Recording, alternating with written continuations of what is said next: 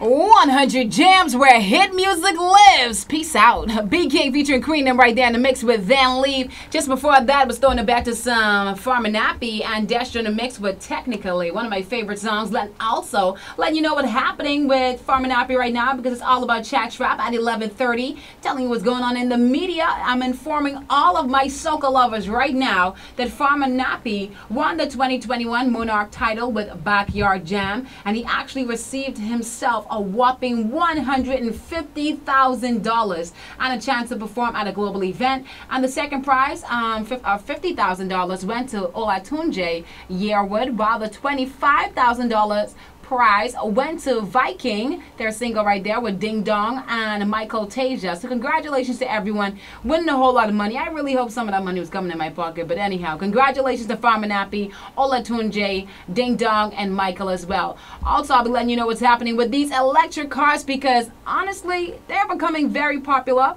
globally and it even has me considering right now purchasing one for myself. Because recently even Apple has been in discussion as to who will be the manufacturer for theirs but apparently this has been in the air since 2016 with Apple. So I'll keep you posted. May they might do it they might not do it who knows but I think they're probably getting closer to really narrowing down their final decision. But Tesla has been the most popular electric vehicle and I think it's due to their unique design. Back in 2019 they spoke about well, they actually introduced the Tesla Cybertruck, which looks very similar to an army truck. But if you ask me, the owner, you know, he decided to even start it about, well, he spoke about building an underground tunnel for the Teslas in LA. And now Elon Musk again is saying that he wants the new Tesla sports car to hover a meter above the ground.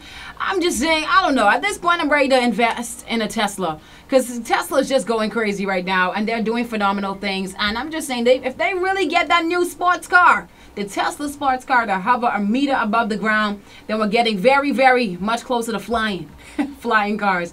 I don't know. We'll see about that. But what's going on with Mr. Kevin Hart right now is personal shopper can be facing up to 25 years in prison. Now, he was hired back in 2015 as a personal shopper for Kevin Hart to purchase several luxury items and using Kevin Hart's card, of course. But authorities stated that the guy instead bought nearly 1.2 million on fine art and jewelry, charging him yeah, right now they're charging him with grand larceny and the first and second degree criminal possession of stolen property and the first and second degree identity theft and the first degree and scheme to defraud in the first degree. I'm just saying these celebrities have so much to worry about. You got to worry about your accountant, you got to worry about your personal shopper, you got to worry about the deals you sign. I'm just saying it's just so much all around. So you never know when the money is, you know, just completely just coming out of your pocket. But finally, I guess they figured it out that this guy was stealing since 2015. And honestly, it's been it's been some quite some time from 2015